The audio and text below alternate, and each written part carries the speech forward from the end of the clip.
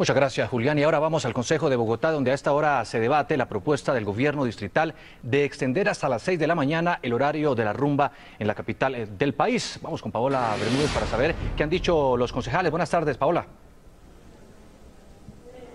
Hola Juan Diego Televidentes, buenas tardes. Pues hay polémica, no muchos están de acuerdo. Ellos dicen que se puede incrementar la seguridad, también el expendio de drogas e incluso de licor adulterado. Y dicen que los más afectados serán los vecinos de estos sitios de rumba, porque tendrán que soportar a los borrachos eh, a tempranas horas de la mañana, 6 de la mañana, cuando es la hora en la que la alcaldía está pensando para extender ese horario de rumba. Veamos lo que ha pasado durante la mañana aquí en el Consejo de Bogotá.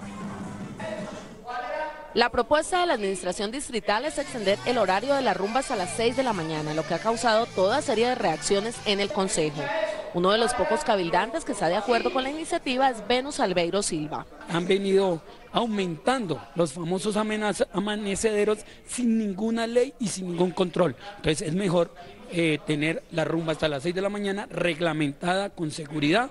Para el concejal Julio César Acosta, la iniciativa es irresponsable.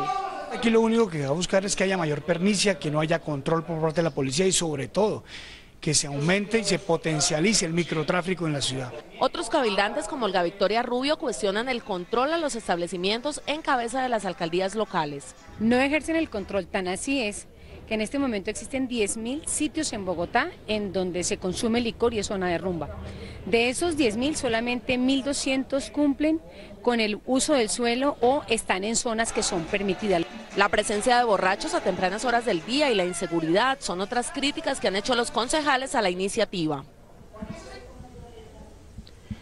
Todavía no se ha definido una fecha para iniciar esta medida, pero mientras esto pasa, pues acá continúa el debate y también la alcaldía está realizando un censo por todos los establecimientos comerciales para determinar cuáles sí cumplen requisitos para seguir su funcionamiento durante 24 horas. Asimismo, se intentará llegar a un acuerdo con la comunidad eh, vecina a la cuadra conocida como Cuadra Alegre en la localidad de Kennedy, en el sur de Bogotá, en donde se llevará a cabo la prueba piloto.